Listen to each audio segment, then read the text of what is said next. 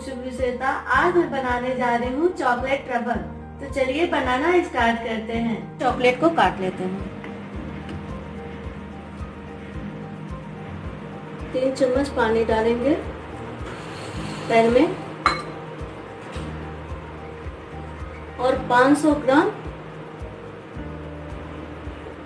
Fresh cream है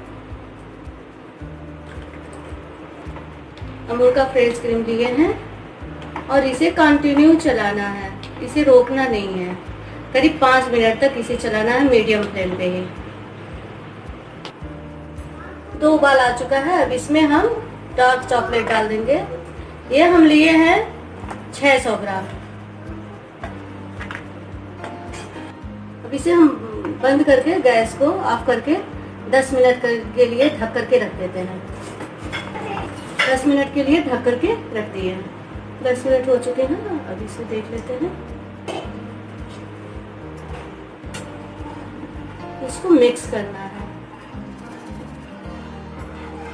ये अच्छे से मिक्स हो गया है, अब इसे हम छान लेते हैं।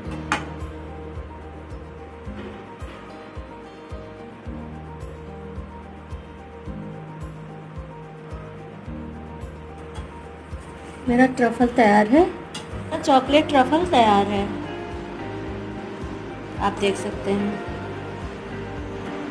ये बहुत ही यम्मी लगता है और बच्चों को बहुत पसंद आता है। इससे आप जब चाहें तब कपकेक बना सकते हैं या कोई भी केक बना सकते हैं चॉकलेटी